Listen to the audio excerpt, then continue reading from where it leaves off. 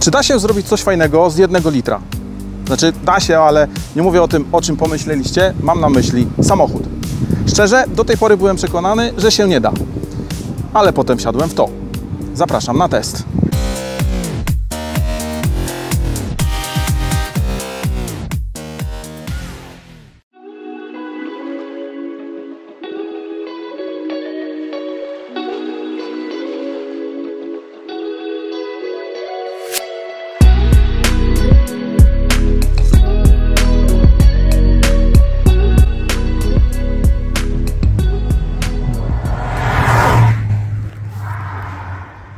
Cześć wszystkim, witajcie w kolejnym materiale na kanale. Dzisiaj za kierownicy Forda Puma w wersji ST.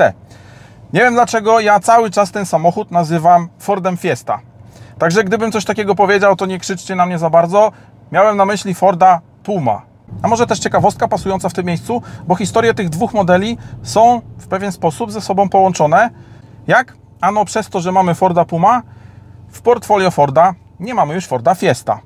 Czemu? To akurat jest bardzo proste. Otóż Puma jest po prostu od Fiesty większa. Także myślę, że trzymanie obu tych modeli nie miałoby sensu chociażby ekonomicznego. No ale dobra, starczy tego wstępu, bo trzeba powoli przechodzić do rzeczy. Jeszcze tylko słowo na temat partnera dzisiejszego odcinka, czyli firmy Car Vertical. No i jeśli chciałbyś kupić używany samochód, na przykład Forda, tym razem nie Pumę, ale Focusa. Na szczęście pobrałeś raport Car Verticala i dowiadujesz się, że co prawda ten samochód nie był skradziony i jego status finansowy i prawny jest ok, ale już musimy uważać na stan licznika kilometrów i na uszkodzenia. Klikamy najpierw kilometry, no i patrzcie. W 2022 roku ten samochód miał przejechane 321 tysięcy, aby w 2023 na liczniku mieć 199 tysięcy kilometrów. Także grubo. Dla mnie ten samochód w tym momencie byłby już skreślony, o czym nie wiedziałbym, gdybym nie pobrał raportu. Ale sprawdźmy też zdjęcia. Na razie wszystko wygląda ok. No ale proszę. Ciekawe, czy ten samochód opisany był jako bezwypadkowy. W każdym razie dla mnie po czymś takim sprawa jest jasna. I jeśli również chcecie ustrzec się na przykład przed takimi perełkami, to pamiętajcie, że klikając w link, który macie w opisie do tego filmu, raport pobierzecie sobie 10% taniej. Także działajcie, uważajcie, a my wracamy do Pumy. Dobra, no to bierzemy się za Pumę, otwieramy maskę i znajdujemy tam silnik benzynowy o pojemności 1 litra. Ma on, a jakże, 3 cylindry, dysponuje mocą 170 koni mechanicznych. Jego maksymalny moment obrotowy to równe 200 Nm. Jednostka ta rozpędzi Pumę do, uwaga, 210 km na godzinę, a pierwsza setka na liczniku pojawi się po upływie 7,4 sekundy.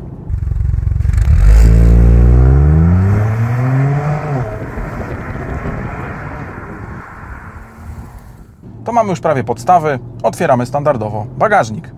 A ten dysponuje pojemnością 456 litrów. Przypomnę, że mówimy o niedużym autku segmentu B. No i gdzie kryje się tajemnica? Żeby nie powiedzieć, gdzie jest ukryta prawda. Ano tu, że jeśli nie oglądaliście jeszcze żadnego testu Pumy, to zobaczcie, co mamy pod podłogą. Z jednej strony widzicie tutaj przeogromny schowek, ale jak się dobrze przyjrzycie, to jest tam też korek, taki jak mamy w wannie. Po co jest ten korek? Po to, po co jest korek w wannie. Możemy tutaj przewozić jakieś brudne rzeczy, które przykładowo po zabłoceniu całego schowka wystarczy spłukać wodą, odkręcić korek i to wszystko sobie spłynie poza samochód. Także coś bardzo pomysłowego, coś bardzo innego i jednocześnie coś mega fajnego, a też mega prostego. Więc duży plus dla Forda po prostu za pomysłowość. No i ogólnie, kto się spodziewał prawie 500 litrów w bagażniku autka segmentu B. Ja wiem, to jest teoretycznie crossover, może praktycznie też, no ale jednak prawie 500 litrów to jest kosmos. Dla formalności dodam, że dotyczy to wersji z zestawem naprawczym. Jeśli chcielibyśmy dojazdówkę, to wtedy zostanie nam do dyspozycji 410 litrów, co i tak jest całkiem fajnym wynikiem. No i jeszcze szybko kanapa. Przypomnę, że mam 182 cm wzrostu i ja się tutaj zmieszczę. Nie jest mi oczywiście jakoś super wygodnie, no ale dam radę, a nad głową, mimo tego, że mam tutaj panoramę, też mi niczego nie brakuje. No i tym razem znowu wrzuciliśmy do tyłu Grześka i to był chyba jeden z tych samochodów, gdzie było mu najtrudniej. Przypomnę, że on ma 192 cm wzrostu i jak otworzyliśmy drzwi, to myśleliśmy, że wsiądzie, ale drzwi już nie zamkniemy. To się co prawda udało, ale żeby jechać tam z tyłu, to chyba musiałby wracać z imprezy, żeby tego nie pamiętać. Ewentualnie skoczyć z kimś do najbliższej żabki, bo gdzieś dalej jechać by raczej nie dał rady. No ale to nie jest samochód do wożenia dwumetrowców z tyłu. No a skoro powiedziałem, do czego nie jest ten samochód, to może to jest pora, żeby przejść do tego, do czego ten samochód jest. I w bardzo dużym skrócie, ten samochód w tej wersji, podkreślam, to jest jedna wielka radocha dla kierowcy.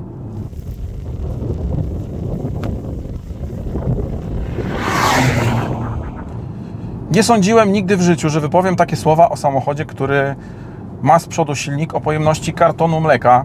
Jeszcze trzy cylindry. Co za czasy, ale jeżdżę tym samochodem kolejny dzień. I powiem Wam z ręką na sercu, że codziennie czekam na każdą kolejną przejażdżkę, bo to, ile radości daje to maleństwo, to jest coś niewiarygodnego. To jest oczywiście wersja ST, która ma twardsze sportowe zawieszenie. Zobaczcie, ten samochód ma koła w rozmiarze 19 cali. Przypomnę, po raz pewnie trzeci albo czwarty, bo może ktoś nie zapamiętał, crossover segmentu B. 19 cali. Te felgi po pierwsze wyglądają fantastycznie, mówię o wzorze, po drugie 19 cali do takiego samochodu, wow. To się oczywiście przekłada na to, że tutaj jest nie wiem, czy powiedzieć twardo czy sztywno, bo to zawieszenie jest mocno specyficzne, dlatego że ono nie jest za twarde zawsze. Na przykład jak wjeżdżacie na takie duże progi zwalniające, duże, długie, to wbrew pozorom tu jest całkiem komfortowo. Zdecydowanie gorzej jest na takich krótkich progach zwalniających, czy po prostu poprzecznych nierównościach, bo tam to auto podskakuje, tam już naprawdę słychać i czuć, że mamy tutaj twarde zawieszenie i tak duże koła.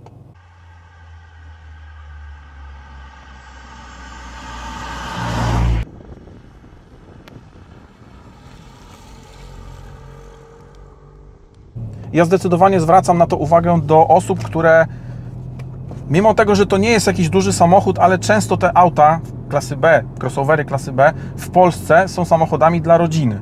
Wiadomo oczywiście z jakich względów i naprawdę zwracam Wam uwagę, bo dla kierowcy, który lubi takie zawieszenie, tak jak ja, to jest coś fantastycznego. Ale myślę, że gdyby tutaj na co dzień miała jeździć moja córka, moja żona, to po pewnym czasie one by się zaczęły męczyć. Więc powiem to co zawsze. Wiem, że nie każdy ma taką możliwość, ale jeśli macie taką możliwość i rozważacie ten samochód jako auto dla rodziny w tej wersji ST, to pożyczcie go na chociażby weekend i pojeździcie z tą rodziną jak najwięcej. To jest moja taka rada i obserwacja z tego, co często ludzie robią, zamawiając samochód po krótkiej jeździe testowej przy salonie po równej drodze. A to auto nie będzie zawsze jeździło po równej drodze, więc zdecydowanie sprawdźcie zawieszenie pod tym kątem, jeśli to ma być auto nie tylko dla Was. Dobra, i zaraz wrócę do jazdy, ale jeszcze szybko wnętrze, żebym nie zapomniał. Ja jestem naprawdę pod bardzo dużym wrażeniem tego, jakie mamy tutaj materiały. To jest dla mnie duża niespodzianka na plus. Ja nie spodziewałem się tego ani po Fordzie, ani po Fordzie klasy B, ale to wszystko jest miękkie, to wszystko całkiem fajnie wygląda. Jedyne moje uwagi co do designu, nie jakości, są tutaj, bo to jest takie proste, ale powiem pewnie 45 raz. Jesteśmy w autku klasy B. I jak na tę klasę, naprawdę tutaj jest super. Zdarza się, że coś czasami gdzieś zatrzeszczy. Nie powiem, że nie. Nie wiem, jak to będzie za 3 czy 4 lata, no bo nie mam jak tego sprawdzić, ale na ten moment, oprócz tego, że czasem coś zatrzeszczy, to naprawdę jest super. Na pewno ten wyświetlacz jest czymś, czego nie polubią wszystkie osoby, szczególnie te, które po prostu nie lubią tak wystających wyświetlaczy. Zwróciło mi też na to uwagę kilku pasażerów, którzy ze mną jechali. Osobiście już przestałem zwracać uwagę na te wystające tablety, nie przeszkadza mi to już. Ale jeśli tego nie lubicie, no to tutaj też może być mały problem. Co do samej obsługi tego wyświetlacza, to niezmiarę prosty. Jak sobie klikam przez funkcje, to one działają szybko, ale na przykład jakieś ustawienia audio, no to jest coś takiego, że na przykład klikacie sobie w barwę dźwięku i trzeba zaczekać chwilę, aby to faktycznie zadziałało. Tak samo zegary. One też mają takie zawiechy. No ale wiadomo, tego się nie zmienia cały czas. Ustawicie raz i zapominacie, więc to jakoś szczególnie na co dzień nie przeszkadza. No jak powiedziałem też o zegarach, to ja mimo tego, że jestem fanem klasycznych zegarów, czasami podobają mi się cyfrowe, no to te zegary cyfrowe są dla mnie totalnie odjazdowe. Mega mi się to podoba. I podświetlenie, i design, kolor, to jak to wszystko rośnie, gdy przyspieszamy, naprawdę super. I są też czytelne, a to jest chyba najważniejsze. Bardzo fajne zegary. No i muszę też wrócić na chwilę jeszcze tutaj. Po pierwsze mamy Android Auto, ale po kablu. Także niestety. Najważniejsze oczywiście, że jest. Ja też znalazłem na to niedrogie rozwiązanie, także jeśli ktoś nie widział, to wrzucę linka w opisie do tego filmu. Ale druga rzecz, mam tutaj nagłośnienie firmy Bang Olufsen, jednej z moich ukochanych firm. Jak ja słyszę tę nazwę, to po prostu mam od razu banana na twarzy. Przy czym to też jest przykład na to, że bardzo często nagłośnienie w samochodach sygnowane przez jakąś kapitalną firmę Nie do końca sprawdza się tak samo jak na przykład system audio, który mielibyście w domu od tego samego producenta. I żeby było jasne, myślę, że dla większości klientów tego samochodu to nagłośnienie będzie totalnie kozackie. Ja jednak jestem muzycznym świrem, uwielbiam dobre nagłośnienia, szczególnie w samochodach. Spędzam tutaj bardzo dużo czasu i po prostu lubię tutaj słuchać muzyki. I ten system z mojej perspektywy gra bardzo dobrze. Zdecydowanie warto do tego dopłacić. Ja bym też do tego dopłacił. Jak na autko klasy B, 46 raz, to gra wręcz przefantastycznie, ale jeśli słysząc Bang Olufsen spodziewacie się jakichś fantastycznych doznań muzycznych, no to nie, ale naprawdę jest bardzo dobrze. I bardzo fajne są ustawienia, które naprawdę działają. Można sobie szybko zmienić barwę dźwięku i każdy dopasuje coś do siebie. Kapitalna rzecz. W sumie jak jestem przy dźwięku, to może jeszcze jedno. Wydech. Kto z Was słyszał silnik 1.0, 3 cylindry, który fajnie brzmi? No to jak nie słyszeliście, to możemy się gdzieś ustawić. Ja Wam ten silnik uruchomię i usłyszycie. To jest niewiarygodne, ale ten samochód, szczególnie w trybie sport, potrafi strzelać z wydechu, potrafi naprawdę fajnie brzmieć. I nie mówię tylko o dźwięku tutaj, który jest dogrywany, ja mówię o wrażeniach z zewnątrz.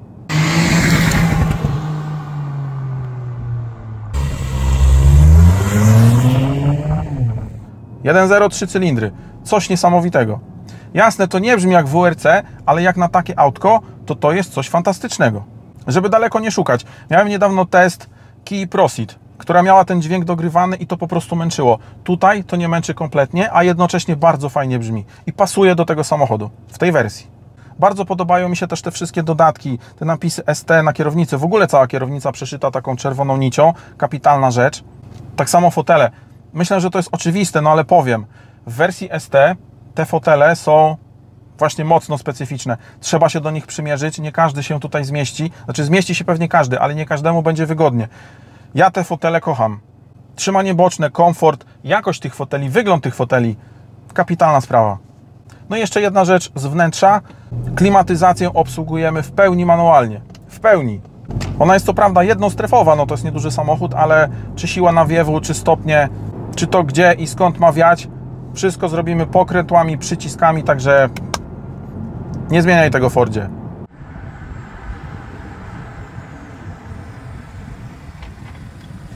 No i dobra, wracamy do jazdy, bo po to jest ten samochód.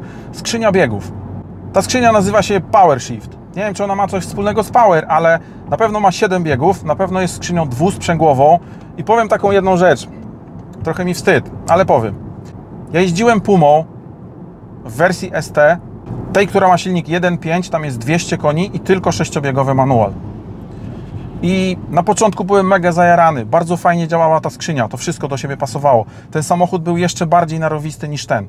Ale po dosyć krótkim czasie, jak już się pobawiłem, to pomyślałem, jak fajnie byłoby mieć tutaj automat. Wiem, wstyd, wiocha na maksa, ale dostałem ten automat. I co? Nie, nie powiem i jajco. I genialnie. Jasne, jak chcesz się pobawić samochodem, no to lepszy jest manual, ale ja wychodzę z takiego założenia, to jest peselówka, że manual w samochodzie sportowym to ja chcę mieć w moim ukochanym Subaru starym, Subaru Impreza STI. Tam w ogóle nie ma takiego tematu jak automat. Czy nie byłoby, gdyby można było mieć? Mówię o tych starych imprezach. Ale to nie jest auto sportowe, to jest jednak auto, którym będziemy jeździli codziennie i ja w tym samochodzie chcę mieć skrzynię automatyczną. I tak jak mówię, ta skrzynia na co dzień sprawuje się super. Ten samochód ma trochę laga na początku. Nie wiem, czy przez skrzynię, czy przez silnik, pewnie przez pojemność, ale nie jest jakiś duży i mnie połączenie silnika z tą skrzynią na co dzień pasuje idealnie. Też taka ciekawostka, zaraz przejdę do cen, ale ta wersja 170 koni ze skrzynią automatyczną jest tylko 2000 zł tańsza, mniej więcej, nawet chyba mniej niż 2000, tańsza niż wersja 1.5 z manualem, ale 200 koni. Bardzo mała różnica. Także tutaj decydują już bardziej preferencje, a nie sama cena. Taka ciekawostka. No i dobra, zaraz do cen, ale jeszcze dwie rzeczy, dwie bardzo ważne rzeczy. Po pierwsze spalanie, bo jeśli ja mam mieć silnik 1.0 i to się ma na coś przekładać, to to się ma przekładać na spalanie. Jak jest tutaj? Dokładnie tak, jak powinno być. Ja byłem zszokowany, ale ja tym samochodem w trzy osoby leciałem tak 130-140 po trasie i ja spaliłem 6,4 na autostradzie. To jest jakiś kosmos. Na ekspresówce spokojnie można zejść poniżej 6, jakaś droga między miastami, okolice 5 litrów, coś fantastycznego, 170 koni, mały samochód, ok, ale spalanie cały czas super. Dałem radę tutaj dobić do 9 w mieście, ale to jak się bawiłem. Taka normalna jazda to jest 7, 7,5, coś w tych rejonach. Także myślę, że wyniki jak na taki samochód naprawdę super. No i ostatnia rzecz, nie da się tego pominąć. Wygląd. Ja Wam tysiąc razy mówiłem, że crossovery to nie są moje ulubione samochody, przez to, że się słabo prowadzą i przez to, że wyglądają dla mnie tak średnio. No to ten samochód prowadzi się genialnie i chyba jeszcze fajniej wygląda. Szczególnie w tym niebieskim, przepięknym kolorze. On niestety dedykowany jest tylko do wersji ST czy STX, więc tych słabszych sobie go nie zamówicie. Nie wiem też, czy on Wam się podoba. Dajcie znać, bo pewnie to nie jest jakiś najbardziej męski kolor, ale ja mam to, nie powiem gdzie. Na ten samochód w tym kolorze patrzą się wszyscy. To też może być minus, jeśli tego nie lubicie. Ale moim zdaniem wygląda przefantastycznie. Dodajemy tutaj jeszcze te kapitalne felgi, te wstawki w czerwonym kolorze, jak chociażby zaciski i po prostu to auto jako całość. No dla mnie to jest coś kapitalnego. Pewnie takie głupie porównanie, ale ja patrząc na to auto z przodu, czy może tak trochę z boku, mówię o przodzie, widzę tu jakieś baby Porsche. Tak można się śmiać. Kilka drobnych uwag. Szkoda, że podłokietnik nie jest wysuwany i na pierwszy rzut oka bardzo małe wydają się lusterka. To jest naprawdę dziwne wrażenie, ale o dziwo korzysta się z nich całkiem ok. Mamy też mechaniczny ręczny, co do zabawy jest super, ale przez to przy automacie nie mamy auto hold. No i tragicznie reguluje się oparcie fotela. Włożyć tam rękę to jest naprawdę sztuka. Mamy tu tryby jazdy i przełączenie w tryb sport naprawdę działa. Jest szybciej, głośniej, po prostu bardziej sportowo, czyli tak jak powinno być po przełączeniu w tryb sport. Dzięki temu, mimo że mamy tutaj niewielki silniczek, jest to jeden z tych samochodów, gdzie tryby naprawdę mają sens. No i jeszcze jedna rzecz, jak już wspomniałem, mały silnik. Nie ruszamy do tej pory kwestii trwałości tej jednostki i tego, jak będzie się sprawowała po 3 czy 4 latach, czy po prostu po 100 tysiącach kilometrów. Ja tego po prostu nie wiem. Nie miałem nigdy samochodu z takim silnikiem, a nie chcę odnosić się do tego, co ktoś gdzieś napisał w internecie. Także prosta sprawa. Jeśli macie praktyczne doświadczenie z takim właśnie silnikiem, to dajcie znać w komentarzach. Ja mimo tego, że na papierze pod względem trwałości nie wygląda to najlepiej, to po prostu nie wiem. Dodam jeszcze, bo zapomniałem. Ten samochód ma kapitalne hamulce.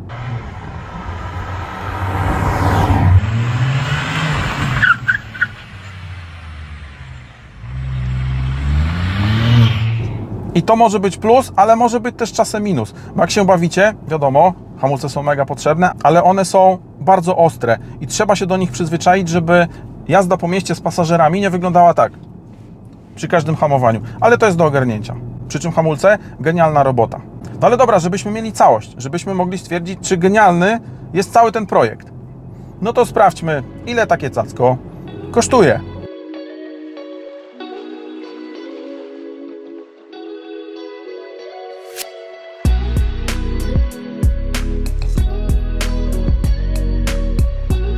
Aktualny promocyjny cennik Forda Puma startuje z poziomu 95 900 zł.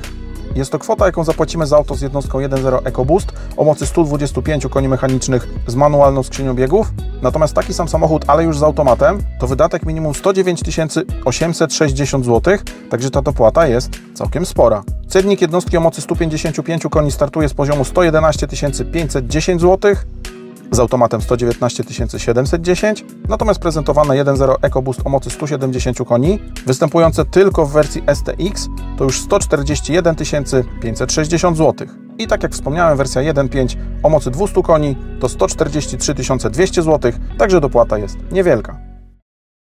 No i teraz tak, ja nie chcę filozofować, bo to jest tylko i wyłącznie samochód, nic więcej. I nie wiem czemu, ale myśląc o tym samochodzie, o podsumowaniu tego samochodu, mnie się skojarzyło takich parę zdań, które ja bardzo lubię. Podkreślam, to jest tylko auto, nie chcę filozofować, no ale to powiem. Brzmią one tak. Są rzeczy, które warto i są rzeczy, które się opłaca. Nie wszystko, co się opłaca, warto, a nie wszystko warto, co się opłaca. Czy opłaca się kupić samochód za 140 tysięcy, który przez rok będzie Was kosztował kolejne kilkanaście tysięcy w utrzymaniu, a niektóre osoby wykorzystują go tylko w weekendy. Nie opłaca się, ale warto. Czemu? Bo spełnione marzenia nie mają ceny. I mimo, że tutaj tę cenę znamy, i mimo, że to pewnie nie jest samochód, który jest marzeniem wielu osób, to te zdania skojarzyły mi się dlatego, że Mamy dzisiaj bardzo wiele aut. Inaczej, wszystkie auta są dzisiaj drogie. Ceny większości z nich ja wytłumaczyć sam sobie nie jestem, albo przekonać siebie, że ta cena, te auta są warte tej ceny. A ten samochód, przez to, że daje mi tyle radości, nadal będzie w mojej głowie samochodem drogim, jak na auto segmentu B, ale gdybym ja taki samochód naprawdę kupił, to wiedziałbym, że się nie opłacało, ale wiedziałbym, dlaczego warto było to zrobić. Dajcie znać, co Wy sądzicie na temat, chciałem powiedzieć, Fiesty. Pumy. Czy ona Wam się podoba, czy nią jeździliście, czy macie podobne wrażenia do mnie, czy może wręcz przeciwnie. Czekam na Wasze opinie w komentarzach. Jak macie sekundę, to prośba standardowo ocencie ten materiał. Jak się podobało, to łapa do góry, jak nie, to do dołu. To pozycjonuję filmy na YouTubie, to mi się bardzo przydaje. Dzięki za wszystkie oceny. No i zapraszam do subskrypcji kanału. Jeśli tego jeszcze nie zrobiliście, to zróbcie to teraz. Bo co? Bo widzimy się za tydzień. Dzięki, trzymajcie się.